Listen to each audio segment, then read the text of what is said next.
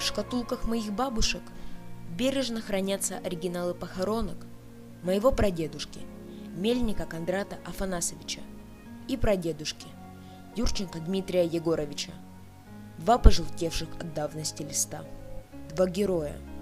Две судьбы. Похоронка – один из самых страшных атрибутов Великой Отечественной войны. Ее боялись, и каждый надеялся, что она обойдет его дом.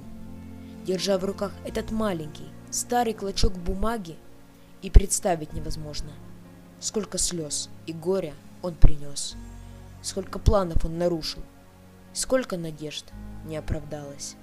А еще этот старый, пожелтевший совсем трухлявый листочек стал единственным ключом в поисках хоть какой-то информации о героях нашей семьи. В каждой семье есть свой маленький день победы и памяти.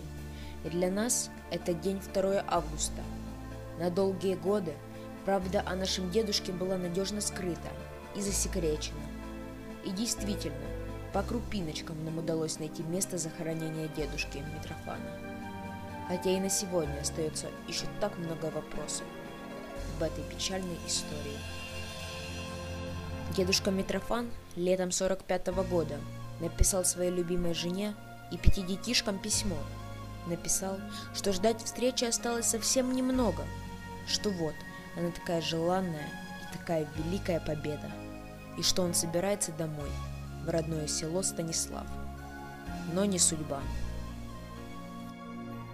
2 августа 1945 года никто из родных не смог провести последний путь Юрченко Митрофана Егоровича. Его похоронили чужие ему люди, чужой для него земле. В городе Пирна, Германия. Что произошло в тот трагический день, мы, наверное, уже никогда и не узнаем. Вся информация строго засекречена и надежно спрятана в архивах.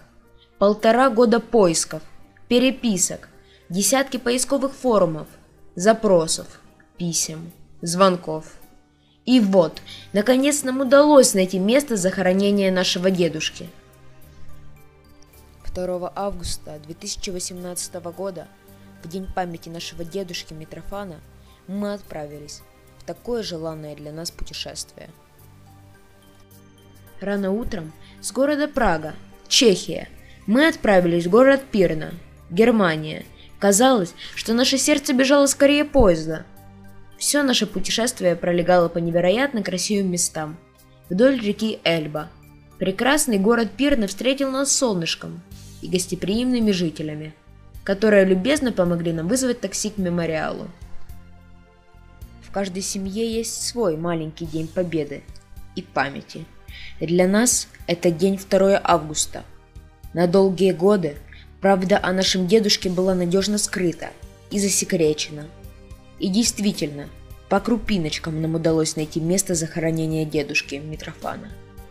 Хотя и на сегодня остается еще так много вопросов в этой печальной истории.